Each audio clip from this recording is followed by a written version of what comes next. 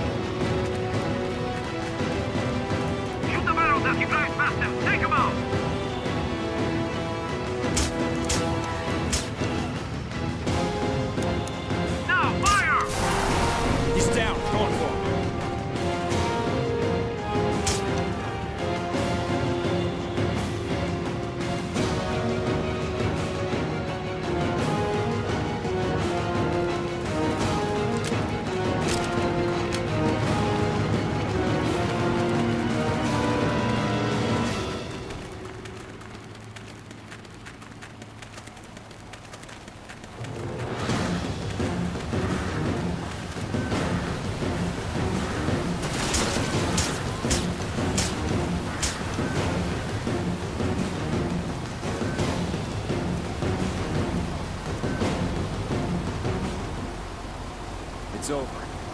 Give me the disc. Don't try anything. Calm down. Just calm down, okay?